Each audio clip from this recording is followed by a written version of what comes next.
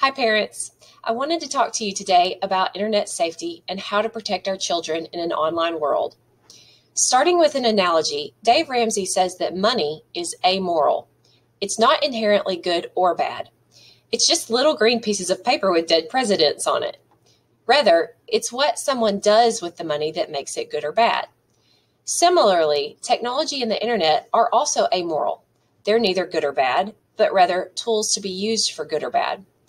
There are so many benefits to using the internet, and quite frankly, it's become an essential component of today's society.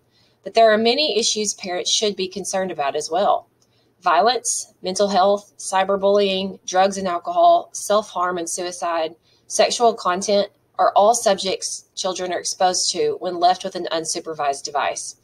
These topics can be very difficult to discuss and easy to overlook. And since we can't separate kids from the internet forever, they have to be addressed. According to the Pew Research Center, 59% of teens say they've been the target of cyberbullying, with name calling and rumor spreading being the most common forms of harassment.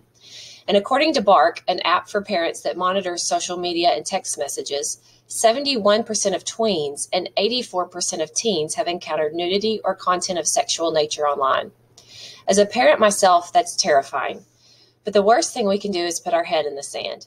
And there are endless resources available with tips for adults learning how to parent in this digital world. Some of the most common tips include talk to your kids and be transparent about your own use of the internet. Use an app such as Bark to manage and filter their online time. Check their list of friends or followers to make sure that they're legitimate and trustworthy. Let them know they can come to you if they have a problem. Watch for red flags, such as switching screens when you walk by, becoming more emotional, and using sexual language that isn't age appropriate.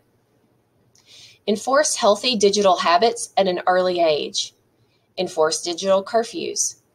Put a family charging station in the parent's bedroom, not the kitchen or the living room where kids could sneak to use the device. Don't let kids take devices to their bedroom. Model healthy habits with your own device and expect resistance. To conclude, the stakes are high with social media and minors. Albeit uncharted territory, there are some common sense measures parents can take that will protect and teach our children about the good, the bad, and the ugly online. Ultimately, the goal is to raise responsible adults who are competent in using technology instead of falling victim to being used by technology.